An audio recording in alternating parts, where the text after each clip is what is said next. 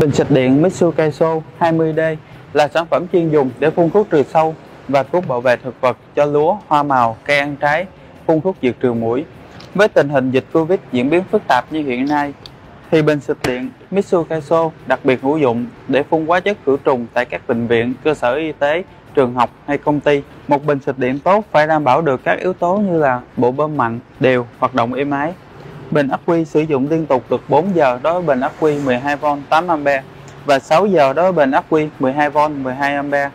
Thùng sử dụng nhựa, nguyên chất, chịu lực và hóa chất tốt. Bình xịt điện Mitsubishi 20D được sản xuất trên dây chuyền công nghệ hiện đại, công nghệ cao, có thiết kế gọn nhẹ, vô cùng đơn giản và linh hoạt khi sử dụng. Bình sử dụng bộ bơm chất lượng cao nên rất êm ái khi sử dụng, cho áp lực mạnh mẽ với lưu lượng 4,6 lít trên phút.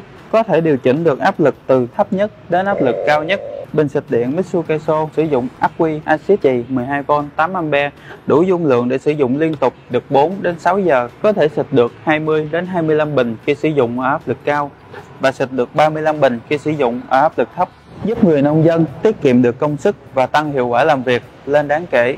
Bình chứa với dung tích 20 lít được làm từ nhựa nguyên chất, dày, chịu lực tốt, chống biến dạng khi bị tác động mạnh. Bình có khả năng chống ăn mòn do hóa chất nên đảm bảo an toàn khi sử dụng giúp tăng tuổi thọ cho sản phẩm. Phần nhựa không bị giòn khi để ở ngoài nắng hoặc khi sử dụng trong một thời gian dài. Dây đeo vai sử dụng loại bản lớn 70mm chắc chắn, phân tán trọng lực, giúp mang lâu dài, không bị đau và nhức vai, tạo cảm giác nhẹ nhàng và êm ái khi mang vác. Đệm lưng cao cấp với các mút làm bằng nhựa đàn hồi, tạo sự êm ái khi sử dụng, giúp lưng thoát khí, không bị dính sát vào bình khi nóng và đổ mồ hôi. Bên trong bình còn có lọc rác với màng lọc bằng thép không rỉ, rất bền, giúp tăng tuổi thọ cho bộ bơm. Cần rút làm bằng inox với đầu ren bằng đồng, đảm bảo không bị oxy hóa hay ăn mòn trong quá trình sử dụng, đặc biệt không bị xì lỗ mọt. Dây xịt chịu áp lực cao nên không bị phù khi phá van lại. Bình sử dụng bộ sạc điện tử cao cấp, rất bền, được đặt trong một hộp nhỏ trong bình nên rất tiện lợi cho người sử dụng.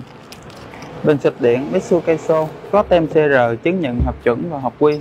Đi kèm với đó, bình có nhiều loại bếp phun để phục vụ cho từng nhu cầu sử dụng khác nhau.